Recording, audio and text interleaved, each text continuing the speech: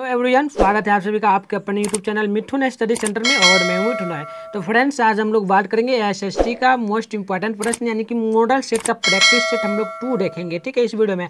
हमने पिछली वीडियो में करा चुका है मॉडल सेट का practice set two two one था, उसको हमने करवा लिया है, ठीक है। तो ये हमारी टू है, उस वीडियो को अभी तक आप लोग नहीं देखे हो तो मैं उस वीडियो का लिंक जो है ना वीडियो के डिस्क्रिप्शन बॉक्स में डालूँगा, वहाँ पे आप लोग जाके देख लेना, ठीक है। तो अब आप लोग देखिएगा, ये प्रैक्टिस सेट टू है, आप लोग याद रखना। मॉडल पेपर का जो भी प्रश्न होता है ना फिफ्टी परसेंट जो है एकदम डेफिनेटली पूछता है बोर्ड एग्ज़ाम में, ठीक है? यानी कि ऑब्जेक्टिव का जो भी प्रश्न होता है, पूरा पूछा जाता है मॉडल सेट से तो ध्यान आप लोग रखिएगा, आप लोगों को एग्ज़ाम में ये ओया ओया मार्क सीट मिलेगा, उसमें आप लोगों को भरना होता है, ठीक है? तो इस पर भी मैं वीडियो लाऊँगा तो आप लोग कमेंट करना क्या ओ मार्क सीट ओ या मार्क सीट कैसे भरा जाता है, इस पर इस पर वीडियो लाइए तो मैं आप लोगों के लिए ला दूँगा। तो चलिए, अगली क्वेश्चन की ओर बढ़ते हैं हम लोग। क्वेश्चन कहता है हमारा स्टार विधि के अंतर्गत मानचित्रों में नीले रंग से किस भाग को दिखाया गया है? तो आपका ऑप्शन ए में है पर्वत, बी में है पथार सी में है मैदान, डी में दिया गया जल। तो आप लोग नोट कर लीजिएगा, जल को दर्शाया गया है, यानी डी नंबर। आप कहता है दो नंबर सवाल, मानचित्र में मैदान को किस रंग से दिखाया जाता है? ठीक है, दिखलाया जाता है तो आपका ऑप्शन आप लोग याद रखना, लाल रंग से दिखाया जाता है, यानी सी नंबर। आप चलिए, अगले सवाल आप लोग देखिएगा, हमारा ये कहता है तीन नंबर सवाल। कहता है, निम्नलिखित में सफ़ेद रंग किस आकृति को दर्शाता है? ठीक है, सफ़ेद रंग। तो आपका ऑप्शन ए में है, पर्वत बी में पथार सी में दिया गया है हिमाच्छिद, शिखर डी में दिया गया है मैदान। तो आप लोग याद रखिएगा, हिमाच्छिद, शिखर, यानी कि आप लोग देखे होंगे, ये हमारा हिमालय पर्वत जो है ना, वो वर्ष जब बर्फ़ पड़ती है, यानी ठंड का समय आता है तो कब क्या होता है कि उस पर बर्फ़ पड़ने पड़ने के कारण उसका शिखर जो होता है ना, इस प्रकार से फहाड़ आता है, ठीक है? तो इसका शिखर जो है ना व्हाइट व्हाइट दिखता है तो उसी को हम लोग हिमाच्छिद, शिखर कहते हैं। तो नोट कर लीजिएगा। आप सवाल कहते हैं, हमारा चार नंबर, निम्न, निम्नांकित में कौन सी मिट्टी सर्वाधिक उपजाऊ होती है? तो नोट कर लीजिएगा, जलोढ़ मिट्टी जो होती है ना, सर्वाधिक उपजाऊ होती है, यानी आप लोग डी नंबर नोट कीजिएगा। अब पाँच नंबर सवाल कहता है, काली मृदा का दूसरा नाम क्या है? ठीक है, काली मृदा का दूसरा नाम क्या होता है? तो आपका ऑप्शन ए में दिया गया बलुई बी में दिया गया लेगुल सी में दिया गया साल डी में दिया गया पर्वतिया। तो आप लोग पाँच नंबर का नोट कर लीजिएगा। ये हमारा लेगुल मिल रहा होगा, ठीक है? यानी कि बी नंबर आप लोग नोट कर लीजिएगा। आप चलिए अगली सवाल देखिए। अगली सवाल कहता है हमारा छः नंबर, एकदम इंपॉर्टेंट सवाल कहता है, भारत में 2001 के, एक में कितने प्रतिशत भौगोलिक क्षेत्र में वन का विस्तार था, ठीक है? यानी 2001 में देखें तो हम लोग भौगोलिक क्षेत्र में वन का कितना विस्तार था तो आप लोग एक ही बात नोट करके रखना इसमें। ये करीब था ना छः नंबर सवाल है तो नोट कर लीजिएगा आप लोग। ये था हमारा उन्नीस यानी आप लोग बी नंबर नोट कर लीजिएगा, ठीक है? बी नंबर आप लोग नोट कर लीजिएगा। आप आपसे अगली सवाल कहते हैं हमारा सात नंबर। वनस्पति, ठीक है? वनस्पति रिपोर्ट के, वनस्पति, ठीक है? वनस्पति वन स्थिति, ठीक है? वन स्थिति रिपोर्ट के अनुसार भारत में वन का विस्तार कितना है, ठीक है? अभी के समय में भी, वर्तमान के समय में भी होता है। तो नोट कर लीजिएगा, ये करीब जो हमारा होता है ना, ये करीब जो है, आप लोग नोट कर लीजिएगा साठ नंबर का, ये साठ नंबर है ना, ये होगा बीस पॉइंट साठ परसेंट भौगोलिक क्षेत्र में, यानी आप लोग ए नंबर नोट कर लीजिएगा, ठीक है? ए नंबर आप लोग नोट कर लीजिएगा। आप सवाल कहते हैं आठ नंबर, यूरेनियम के प्रमुख उत्पादक स्थल क्या है, ठीक है? तो आप लोग देखिए ऑप्शन ए में दिया गया दिग्वोई बी में दिया गया झड़िया डी सी में दिया गया है और डी में दिया गया जादू घोड़ा। तो आप लोग नोट कर लीजिएगा, ये हमारा आठ नंबर प्रश्न है तो इसका आंसर होगा हमारा जादू घोड़ा, ठीक है? आप चलिए, अगले सवाल को हम लोग देख लेते हैं। देखिए, आप लोग ध्यान से अगले सवाल हमारा कहता है एशिया का सबसे बड़ा परमाणु विद्युत गृह क्या है, ठीक है? तो आप लोगों को मैंने काफ़ी बार पढ़ाया है तो आप ऑप्शन दे देता हूँ। ऑप्शन ए में दिया तारापुर बी में दिया गया कलपक्कम ठीक है? और सी में दिया नरौरा डी में दिया केंगा। तो नोट कर लीजिएगा तारापुर हमारा होगा, यानी ए नंबर करेक्ट आंसर होगा। आप सवाल कहता है हमारा दस नंबर कहता है, फालता विशेष आर्थिक क्षेत्र कहाँ स्थित है, ठीक है? तो आपका ऑप्शन ए में दिया गया है बिहार में बी में दिया गया पश्चिम बंगाल में सी में दिया गया केरल में डी में दिया गया ओडिशा में। तो नोट कर लीजिएगा, ये हमारा पश्चिम बंगाल में होगा, यानी आप लोग वी नंबर नोट कर लीजिएगा। आप चलिए अगली सवाल को हम लोग देख लेते हैं, ध्यान से आप लोग देखिएगा। आप लोग कमेंट बॉक्स में आंसर भी बताते जाइए, ठीक है? सवाल कहता है ग्यारह नंबर, भारत में औरतों के लिए आरक्षण की व्यवस्था जो है किस संस्था में दी गई है? तो आपको पता है तो कमेंट बॉक्स में बताइएगा, मैं आपको तब तक ऑप्शन देता हूँ। ऑप्शन ए में दिया गया है लोकसभा में बी में दिया गया है विधानसभा में सी में दिया गया है मंत्रिमंडल में, और डी में दिया गया है पंचायत राज संस्थाओं, व्यवस्थाओं में, ठीक है? तो हमारा पंचायत राज व्यवस्था ही सही होगा, यानी आप लोग डी नंबर जो है ना नोट कर लीजिएगा। आप चलिए अगली सवाल की ओर हम लोग बढ़ते हैं। ध्यान से आप लोग देखिएगा हमारा बारह नंबर सवाल क्या बोलता है? बारह नंबर सवाल बोलता है, सांप्रदायिक राजनीति के अर्थ से संबंधित निम्नलिखित कथनों पर गौर करें, ठीक है?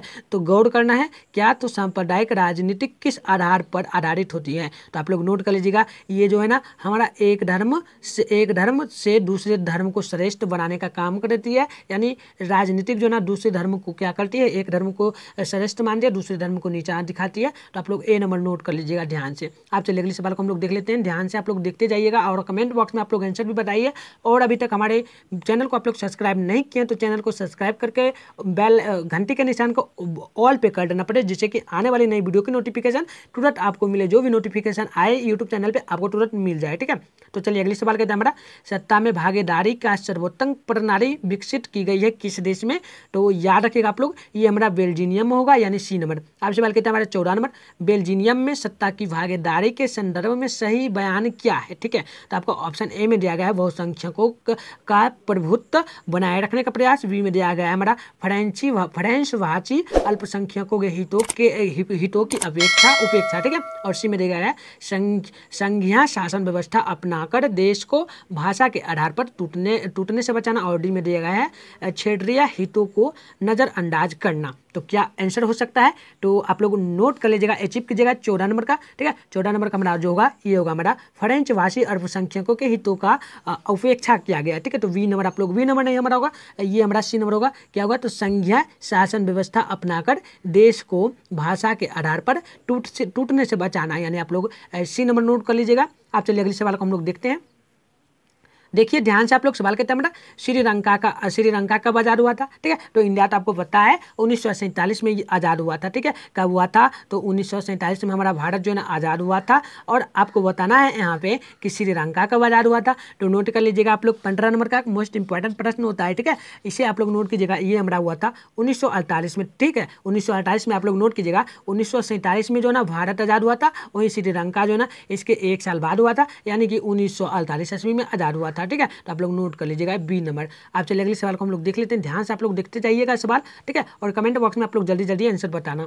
कब सवाल कहते हैं, सोलह नंबर, राजनीतिक दल का आशय क्या है, ठीक है? राजनीतिक दल का आशय क्या होता है तो ऑप्शन ए में दिया गया अफसरों के समूह से बी में दिया गया सेना सेनाओं के समूह से सी में दिया गया व्यक्तियों के समूह से, और डी में दिया गया किसानों के समूह से। तो राजनीतिक दल जो है ना, ये आप लोग नोट कर लीजिएगा। ध्यान से ये हमारा होगा, ये जो है ना, ये होगा व्यक्तियों के समूह से बनता है, ठीक है? व्यक्तियों जो है ना, वही राजनीतिक दल को चुनते हैं ठीक है? सरकार बनाती है। आज कहते हैं सत्रह नंबर किसके फैसल फैसलों ठीक है? कि, किसके फ़सलों के व्यक्तिगत पूर्वा, पूर्वाग्रहों की अधिकतम, अधिकता रहती है, ठीक है? तो नोट कर लीजिएगा आप लोग फैसलों, ठीक है? किसके फैसलों के फैसलों में व्यक्तिगत, ठीक है? व्यक्तिगत पूर्वाग्रहों की अधिकतम रहती है, अधिकता रहती है, यानी अधिकार रहती है, ठीक है? तो सत्रह नंबर को नोट कर लीजिएगा, ये मेरा होगा गैर लोकतांत्रिक, यानी सी नंबर नोट कर लीजिएगा। आप चलिए अगले सवाल के तहत पंद्रह अठारह नंबर हमारा सवाल कहता है लोकतंत्र के परिणामों के मूल्यांकन की सही आधार क्या है, यानी सही इसके लोकतंत्र के बारे में क्या कहा गया है, ठीक है?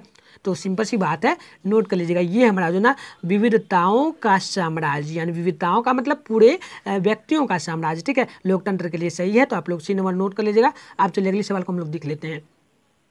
देखिए, आप लोग उन्नीस नंबर सवाल कहता है भारतीय लोकतंत्र के कितने अंग हैं? ठीक है? काफ़ी मोस्ट इंपॉर्टेंट होता है भारतीय लोकतंत्र के कितने अंग हैं?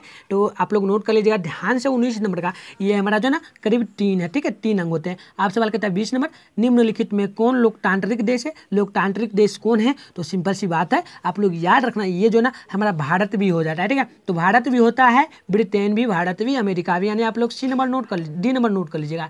आप सवाल कहता है, हमारा इक्कीस नंबर, निम्नलिखित में कौन सा विनिमय का सर्वोत्तम माध्यम है? विनिमय का सर्वोत्तम माध्यम क्या है? क्या है? तो सिंपल सी बात है, आप लोगों को मैंने काफ़ी बार बताया हुआ है कि ये जो होता है ना हमारा मुद्रा होता है, मुद्रा का मतलब क्या होता है? मुद्रा को ही पहले के ज़माना में रुपया कहा जाता था। तो मुद्रा आप लोग नोट कर लीजिएगा, बी नंबर। आप चलिए अगले सवाल को हम लोग देख लेते हैं। ध्यान से आप लोग देखिएगा, समझते चलिएगा। सवाल कहता है हमारा बाईस नंबर, भारत में वित्तीय कहा जा रहा है, ठीक है? भारत में वित्तीय कब से कब तक हुआ था, ये हमें बताना है। मोस्ट इंपॉर्टेंट प्रश्न होता है, ठीक है? इसको तो आप लोग एकदम अच्छी तरीके से नोट कर लेना। तो ये हमारा बाईस नंबर का प्रश्न का आंसर जो होगा ना, वो होगा सी नंबर यानी कि एक अप्रैल से इकतीस मार्च के बीच, यानी आप लोग नोट कर लीजिएगा सी नंबर, ठीक है? आप चले अगली सवाल कहता है, तेईस नंबर। भारतीय उपभोक्ताओं में अधिकांशत क्या है, ठीक है? भारतीय उपभोक्ताओं में अधिकांशत जो ना, वह क्या दिया गया है? निष्क्रिया है। जागरूक है, सक्रिय है, अति जागरूक।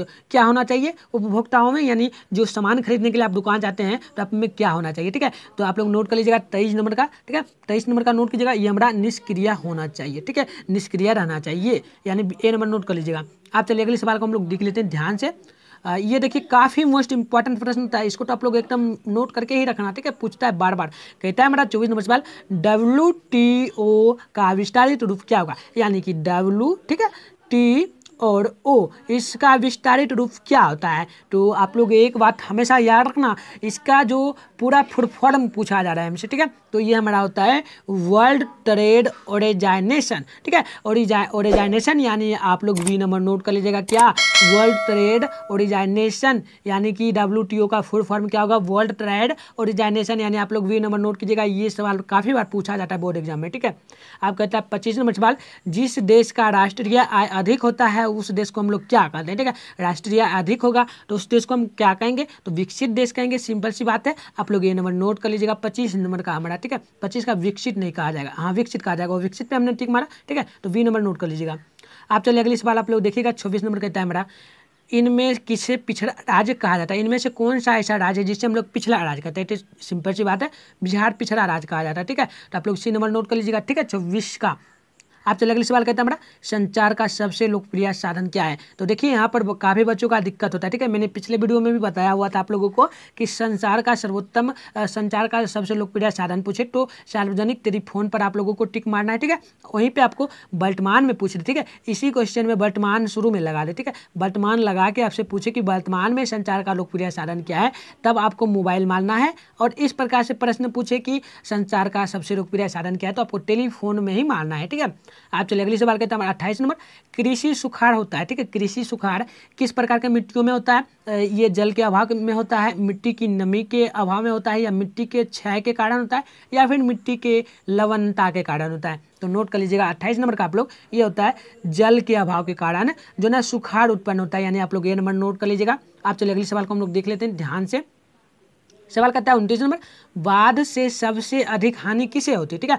फ़सलों की होती है, पशुओं को होती है, भवनों की होती है, यानी में से सभी को होती है। तो सबसे अधिक हमसे पूछा जा रहा है, सबसे अधिक ना पूछता, तब हम लोग इनमें से सभी में मारते, ठीक है? तो उनतीस का आप लोग नोट कर लेना, सबसे अधिक फ़सल ही बर्बाद होता है, ठीक है?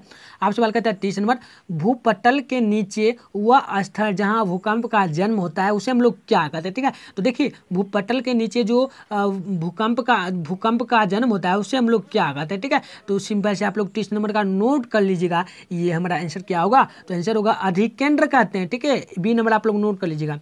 आप चलिए, अगले सवाल को हम लोग देखते हैं। इकतीस नंबर कहता है वालना की क्यूडर फ्रेश एक्ट कब पारित हुआ था? ये उन्नीस में हुआ था या फिर उन्नीस सौ नवासी में हुआ था या उन्नीस सौ अठहत्तर में ईस्वी में हुआ था? ये सत्रह सौ अठहत्तर में हुआ था या फिर अठारह सौ ईस्वी में हुआ था? तो एक ही बात आप लोग नोट कर लेना इकतीस नंबर का। ये हमारा जो ना, हुआ था उन्नीस सौ अठहत्तर, सत्रह सौ अठहत्तर ईस्वी में, यानी आप लोग सी नंबर क्या करना, नोट कर लेना, ठीक है? चलिए, अगले सवाल को हम लोग देखते हैं। इकतीस नंबर का सी नहीं नोट करना है। इकतीस का जो है ना, ये अठारह सौ अठहत्तर में वो नोट कीजिएगा, ठीक है? अठारह सौ अठहत्तर में। आप चलिए, अगले सवाल कहता है मोस्ट इंपॉर्टेंट एंड वी सवाल है। इसको नोट कर लीजिएगा, ध्यान से। सवाल कहता है, अंकुर वाट का मंदिर कहाँ स्थित है? तो नोट कर लीजिएगा, एक ही बात, यह कम्बोडिया में स्थित है, कहाँ स्थित है? कम्बोडिया में, ठीक है? तो डी नंबर नोट कर लीजिएगा। आप चलिए, अगले सवाल को हम लोग देखते हैं। तैतीस नंबर हमारा क्या बोलता है? बोलता है सवाल, हिंद, चीन पहुँचने वाले प्रथम व्यापारी कौन थे? मोस्ट इंपॉर्टेंट एंड वी सवाल ये भी है। तो इसको नोट कर लीजिएगा, ये कौन थे? कहाँ के व्यक्ति थे जो हिंद, चीन पहली बार पहुँचे थे व्यापारी के रूप में? तो नोट कर लीजिएगा ये हमारा तैतीस नंबर का, ये हमारा पुर्ट गाड़ी होगा, ठीक? पुर्ट गाड़ी, यानी आप लोग सी नंबर नोट कीजिएगा। आप सवाल कहते हैं, हमारा चौतीस नंबर सवाल कहता है, कार्बोनरी संगठन किस देश में हुआ था? मतलब कि, किस वर्ष हुआ था? ठीक है, कार्बोनरी संगठन किस वर्ष हुआ था? अठारह सौ बत्तीस में हुआ था, या फिर अठारह सौ पंद्रह में, या फिर अठारह सौ दस में, या फिर अठारह में हुआ था? तो कब हुआ था? तो एक ही बात नोट कीजिएगा, चौंतीस का आप लोग, ये अठारह सौ दस ईस्वी में हुआ था, यानी आप लोग सी नंबर क्या करना नोट कर लेना। आप चलिए, अगली सवाल कहते हैं, पैंतीस नंबर एंड्रिया नोपुल ठीक है एंड्रिया नोपुर की संधि कब हुई थी? तो नोट कीजिएगा, ये पहले ऑप्शन बोलता हूँ आप लोगों को, आप लोग कमेंट बॉक्स में ज़रूर बताएँ। तो ऑप्शन ए में अठारह सौ अट्ठाईस में बी में अठारह में सी में दिया गया अठारह सौ तीस में या फिर डी में दिया गया उन्नीस सौ इकतीस में। तो पैंतीस नंबर का आप लोग नोट कर लीजिएगा, ठीक है? पैंतीस का नोट कर लीजिएगा, ये हमारा होगा अठारह सौ में हुआ था, ठीक है? अठारह सौ में। आप चलिए अगले सवाल को हम लोग देखते हैं। ध्यान से देखिएगा छत्तीस सवाल कहता है, इंग्लैंड में मुद्रण कला को पहुँचाने वाला प्रथम व्यक्ति कौन था? इंग्लैंड में जो मुद्रण कला को किस व्यक्ति ने प्रथम बार पहुँचाया था? ठीक है तो ये हमारा ऑप्शन ए में दिया गया हैमिटर हैमी लटन, ठीक है सी में बी में दिया गया कैटसन और सी में दिया गया है एडसिन या डी में दिया गया है समिट तो क्या आंसर होगा? तो छत्तीस नंबर का नोट कर लीजिएगा आप लोग, ये हमारा जो था कैप्शन कैप्शन जो था ना कैप्शन ये आप पहुँचाए थे, यानी आप लोग बी नंबर नोट कीजिएगा। आपसे पहले कहता है, सैंतीस नंबर, किसने कहा था, मुद्रण जो है ना, ईश्वर की दी हुई महानतम देन है, सबसे बड़ा तोहफा है, किन का कहना था, महात्मा गांधी का कहना था मार्टिन लूथर का कहना था, मोहम्मद गए पैगंबर का कहना था, या फिर ईसा मही का कहना था, मसीह का कहना था किनका कहना था? तो नोट कर लीजिएगा मोस्ट इंपॉर्टेंट प्रश्न होता है, ये कहना था मार्टिन लूथर जी का, ठीक है? तो आप लोग बी नंबर नोट कर लीजिएगा, ठीक है? क्या करोगे? नोट आप लोग सैंतीस नंबर सवाल है ना एक बार रुक जाओ। आ, चलो सैंतीस का आप लोग वी नंबर ही नोट करना। आप चलिए अगले सवाल कहता है हमारा ये अड़तीस नंबर सवाल जो कहता है ना कहता है बरेस्टलीट बरेस्टिलोट वयस्क की संधि किस किन देश के बीच हुई थी? किन देशों के बीच हुई थी? तो ये है ना ऑप्शन ए में दिया गया है हमारा रूस और इटली के बीच। बी में दिया गया है रूस और फ्रांस के बीच। सी में दिया गया है रूस और इंग्लैंड के बीच। डी में दिया गया है रूस और जर्मनी के बीच। तो अड़तीस नंबर का आप लोग नोट कर लीजिएगा ये हुआ था रूस और जर्मनी के बीच। यानी आप लोग डी नंबर क्या करोगे? नोट कर लेना। आप चलिए अगले सवाल की ओर बढ़ते हैं हम लोग। उनचास नंबर सवाल कहते हैं मेरा आर्थिक मंदी की शुरुआत कब हुई थी? आर्थिक मंदी की शुरुआत कब हुई थी? तो आपका ऑप्शन ए में दिया गया उन्नीस सौ ईस्वी में बी में दिया गया उन्नीस सौ तीस में, ठीक है? और सी में दिया गया उन्नीस सौ चालीस डी में दिया गया उन्नीस सौ पचास में। तो एक ही बात आप लोग नोट करना, ये हमारा हुआ था ना जो, ये हुआ था उन्नीस सौ तीस ईस्वी में, यानी आप लोग वी नंबर क्या करोगे नोट कर लेना, ठीक है? आप चलिए अगले सवाल कहते हैं हमारा फ्रांस में किस शासन वंश की पुनः स्थापना बिनाया कांग्रेस के द्वारा की गई थी? ठीक है? तो आप लोग नोट कर लेना चालीस नंबर का, ये हमारा क्या होगा तो सी नंबर नोट करना, ये हुआ था हमारा बुर्बो वंश जो है ना बुर्बो वंश, इन्होंने ही क्या किया था ये ये जो है ना फ्रांस में शासन किस शासन वर्ष का ये हमारा जो ना, पुनः स्थापना किया था, शासन, मुगल शासन वंश का, ठीक है तो आप लोग नोट कर लेना। आप चलिए, अगली सवाल कहते हैं हमारा। ध्यान से सुनिएगा most important and V B I सवाल ये भी हमारा होता है। तो इसको भी ध्यान से सुनिएगा। सवाल का इकतालीस नंबर, सुनामी कहाँ आती है? ठीक है? तो ऑप्शन ए में दिया गया स्थल पर आती है, बी में दिया गया समुद्र में, सी में दिया गया है आसमान में, या डी में दिया गया दिया गया है। इनमें से कोई नहीं। तो कहाँ आता है? तो याद रखना, समुद्र में आता है सुनामी, ठीक है? बी नंबर नोट कीजिएगा। आप सवाल कहता है बयालीस नंबर, सिखों के दसवें और अंतिम गुरु गोविंद सिंह का जन्म बिहार के किस नगर में हुआ था? नगर का मतलब किस जिला में हुआ था? तो एक ही बात नोट करना, पटना में उनका जन्म हुआ था, ठीक है? कहाँ हुआ था? तो पटना में हुआ था। यानी आप लोग सी नंबर नोट कर लेना। आप चलिए अगले सवाल की ओर हम लोग बढ़ते हैं, ठीक है? ये क्या हो गया? थोड़ा सा वेट करो आप लोग थोड़ा सा मोबाइल जो है ना ये क्या हो रहा है? चलो चलो, अगले सवाल को देख लो, हो जाता है कभी कभी ठीक है? आप ध्यान से देखना आप लोग। हमने एक बयालीस नंबर सवाल देखा था। आप ध्यान से देखिएगा एक तैंतालीस नंबर सवाल, ठीक है? चलो ध्यान से देखिएगा, ये हमारा तैतालीस नंबर सवाल क्या बोलता है? एकदम मोस्ट इंपॉर्टेंट सभी प्रश्न, ठीक है? चलिए, ये तैतालीस नंबर सवाल कहता है, अंतर्राष्ट्रीय महिला दिवस किस तिथि को मनाया जाती है, ठीक है? महिला दिवस, सिंपल सी बात है, कब मनाया जाता है? तो आपको याद रखना एक ही बात है तैतालीस का, ठीक है? तैतालीस का आप लोग याद रखिएगा, ये मनाया जाता है आठ मार्च को, ठीक है? यानी आप लोग वी नंबर नोट कर लीजिएगा। आज सवाल कहता है हमारा, वही सवाल है, चौवालीस नंबर, ठीक है? डब्ल्यू टी ओ मतलब डब्ल्यू का फुल फॉर्म क्या हुआ था? तो वर्ल्ड ट्रेड ऑर्गेनाइजेशन हुआ था। तो हमें पूछ रहा है डब्ल्यू का जो ना, व्यापार संगठन, इसका हिंदी में मीनिंग होता है तो ये जो है ना, किस वर्ष लागू किया गया था, ठीक है? स्थापना हुआ ना तो एक ही बात नोट करना, चौवालीस नंबर का, ठीक है? चौवालीस का क्या नोट करोगे आप लोग? तो ये नंबर नोट करना, उन्नीस सौ पंचानवे ईस्वी में हुआ था, यानी ए नंबर नोट कर लेना। आप चलिए, अगली सवाल देखिए। पैंतालीस नंबर कहता है हमारा वर्तमान में नेपाल की शासन प्रणाली क्या है? वर्तमान में नेपाल की शासन प्रणाली किस प्रकार की है? तो एक ही बात नोट करना, ये हमारी जो है ना क्या आंसर होगा। तो आप लोग कमेंट करो, जल्दी से। पहला है लोकतंत्र बी में दिया गया राजतंत्र सी में है सैनिक तंत्र डी में दिया गया इनमें से कोई नहीं।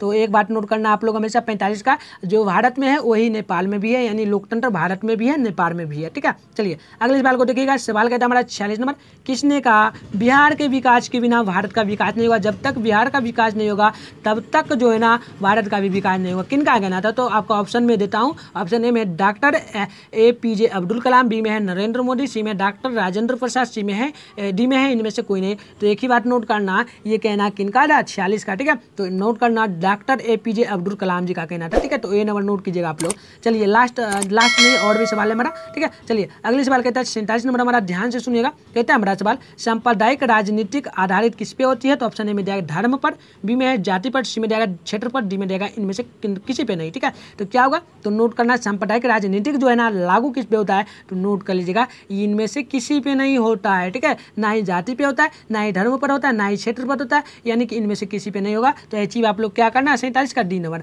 आप चलिए अगली सवाल कहते हैं हमारा अड़तालीस नंबर। यूरेनियम का प्रमुख प्रमुख उत्पादक केंद्र कौन है, ठीक है? यानी कि कौन सा ऐसा जिला है, ठीक है? जिला है जिसमें यूरेनियम का उत्पादन सबसे ज़्यादा होता है। तो आपको ऑप्शन ए में दिया गया डिगवई, बी में है, झड़िया, सी में दिया गया घाट शिला डी में दिया गया जादू गोड़ा तो अड़तालीस का नोट कर लेना आप लोग, ये हमारा जादू गोड़ा होगा, ठीक है? तो चलिए अड़तालीस क्वेश्चन मॉडल पेपर में दिया गया था। हमारा, ठीक है अड़तालीस क्वेश्चन टोटल था हमारा। तो अड़तालीस क्वेश्चन को आप लोग देख लोगे ना तो बोर्ड एग्ज़ाम में डेफिनेटली इसी से क्वेश्चन ज़्यादातर आएगा, क्योंकि ये मॉडल पेपर हमारा मॉडल पेपर का सेट टू था, ठीक है? तो सेट वन का आप लोग अभी तक वीडियो नहीं देखो तो आप लोग क्या करो, जल्दी से नीचे जाओ वीडियो के डिस्क्रिप्शन बॉक्स में, वहाँ पे आपको लिंक मिलेगा, वहाँ से आप लोग देख लेना जाके। और एक बात कहना था, आप लोग हमारे व्हाट्सएप ग्रुप में अभी तक ज्वाइन नहीं हुए हैं तो आपको क्या करना है? तो सिंपल सी मैं आपको नंबर यहाँ नहीं दूँगा, ठीक है? नंबर आप लोग जाना कमेंट बॉक्स में, वहाँ पे पिनर मिलेगा, उसमें आप लोग क्या करना मैसेज करना, ठीक है? वहाँ से आप लोग मैसेज करना और बोलना कि ग्रुप जिस, उसी नंबर पर कि मुझे ग्रुप में ज्वाइन कर दें मुझे नोट्स चाहिए, ठीक है? तो आप लोग ज्वाइन हो जाना, आपको हमारे यहाँ दो प्रकार का ग्रुप चलता है, पहली बार जान लो, एक तो फ्री का ग्रुप है,